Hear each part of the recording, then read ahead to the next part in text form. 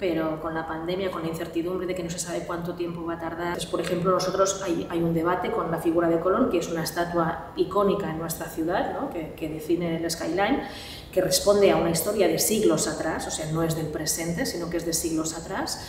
Entonces, estamos haciendo un trabajo de memoria democrática, donde queremos contar con las voces de expertos, con las voces también de entidades sociales y ver cómo reexplicamos ese, ese conjunto escultórico. ¿no?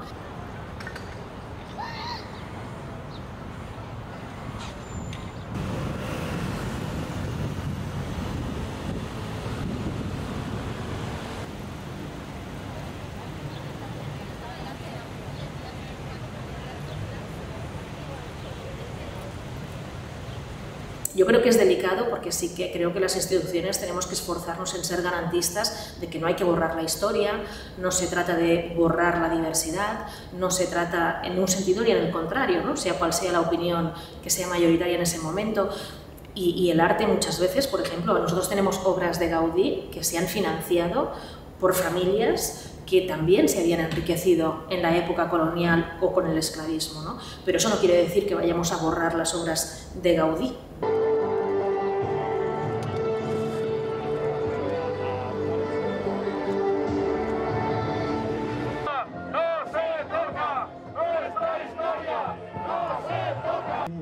Y ese español se le juzgaba y se le condenaba. Y luego estaban los centros de residencia.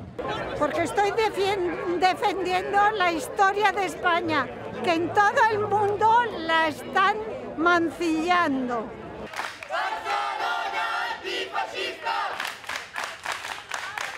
La relación social entre estas memorias y el espacio público en España es compleja y es mucho más compleja que en otros países.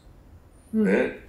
No solo la memoria contemporánea de la guerra civil, sino también la memoria colonial, con Guinea, con, ¿no? con la conquista de América o el descubrimiento, con el símbolo principal de este descubrimiento, que, que, que, no es una estatua, sino que es una fecha, que es el 12 de octubre, Día de la Hispanidad. O sea, hay una relación compleja de toda la sociedad, de, de, los espectros políticos, de los grupos políticos, de los partidos políticos con estas fechas, muchos a favor por un nacionalismo superacérrimo y muchos en contra.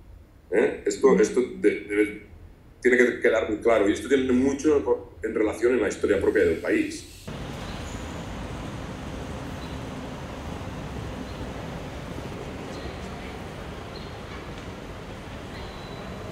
Y hay de la profesión muy preocupados para por dónde va a llegar el reino de la ignorancia y el reino de lo políticamente correcto.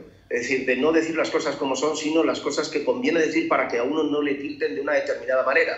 No, las cosas son como son. Ha habido muchas investigaciones históricas sobre determinadas circunstancias y hay que comprender el pasado, no enjuiciarlo, sobre todo comprenderlo en su contexto histórico.